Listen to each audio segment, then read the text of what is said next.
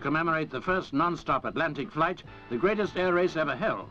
And for the fastest times between London's Post Office Tower and the Empire State Building in New York, £60,000 in prizes. Fifty years ago, Alcock and Brown were the first to break the transatlantic barrier. Now, Anne Alcock, niece of the aviation pioneer, is the first competitor to leave.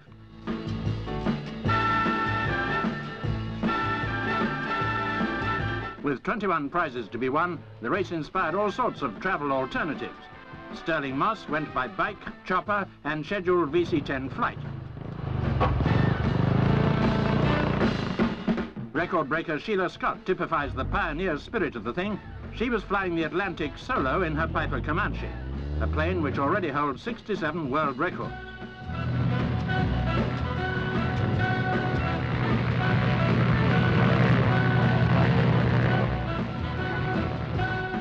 Rand went the first part of the way by underground, a somewhat complicated combination of train, car and charter plane to New York's Kennedy Airport.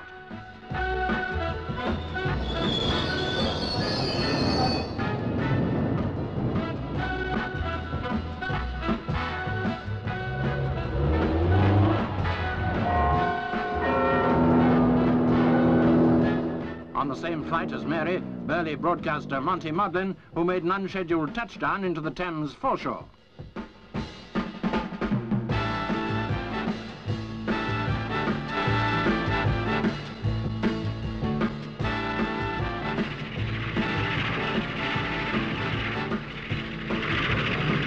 To quote Lord Byron, my native land, good night.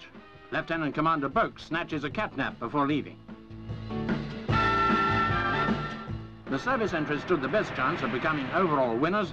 One of the RAF Victors, which were making two attempts in each direction, takes off from Wisley RAF station, bound for New York.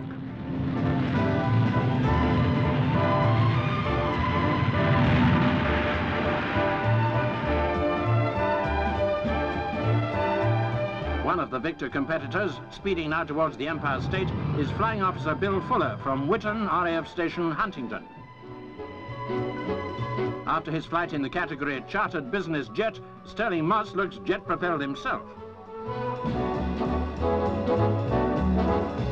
Comparing notes with Flying Officer Fuller.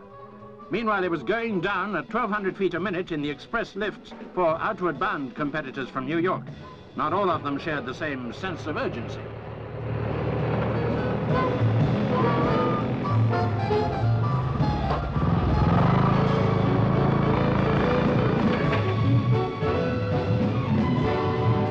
Classes for business and professional interests, as well as for jet pilots and solo flyers. Bowlers and brollies at the Empire State. Impeded by other competitors, Mary Rand struggling to save vital seconds on her time. When the Daily Mail first announced the challenge of an Atlantic race, they couldn't have imagined the enthusiasm they'd inspire or the variety of people who'd take part. One competitor even entered blindfold. Here he's arriving in London, Commander Bill Martin, a US Navy helicopter pilot. He claims to have a sixth sense that allows him to see in the dark. In spite of a fall into the Hudson River, he put up a tremendous time, 7 hours, 21 minutes for the whole trip.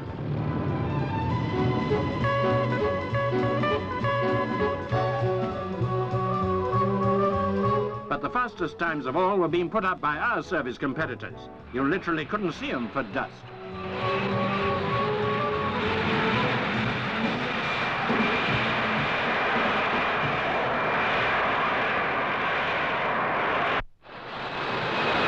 The Harrier jump jet, piloted by squadron leader Lecky Thompson, set one of the best times in the race and made history as well.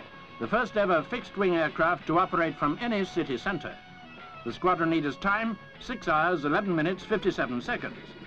Of course, the RAF's chief worry was the Navy and their record-breaking Phantoms. This was the dramatic tire-bursting landing at Wisley, which nearly brought disaster. With the tires in flames, Commander Borman had to fight to keep it on the runway.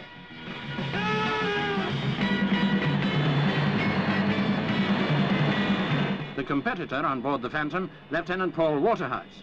The aircraft was to regain the world record from America for the New York to London route, but that record was only to last four days. Then another Phantom chopped more than 10 minutes off the time with just 4 hours, 53 minutes and 10 seconds. Lieutenant Waterhouse, the first Phantom competitor, was beaten by 11 minutes, tower to tower, by his fellow Navy adversary, Lieutenant Hugh Drake. Clement Freud goes Aer Lingus to New York with 10-year-old Dominic Folder. Mr. Freud intended to take his son, but I'm told at the last minute he wanted to go somewhere else, if you see what I mean, and missed the flight. Over in New York, one of the Harriers takes off to welcome another arrival. It was the biggest day of the whole week, officially named by New York's mayor QE2 Day.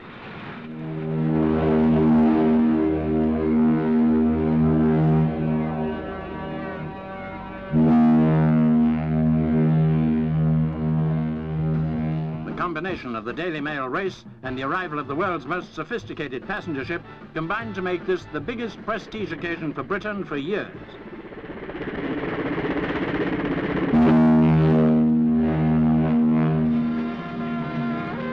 Back on the Empire State, Tina the chimp. After her flight with BOAC, Tina made the most of her vantage point on the highest building in the world to keep an eye out for the rest of the competitors. Back home at Farnborough, Christine Turnbull, the first girl to cross the channel by balloon, chose the same method to get to London Airport. But it ran out of gas after only 10 miles.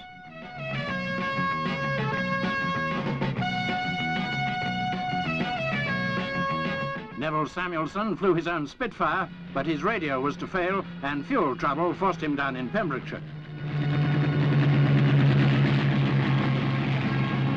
Finally, one of the great solo flyers of all time arrives in New York. After two days without sleep and desperate hours while her plane iced up, Sheila Scott broke her own Atlantic record by five hours. Certainly her performance symbolizes the whole purpose of the enterprise and reflects the courage of those early aviation pioneers. A tribute to the past as we come to the threshold of supersonic passenger flight.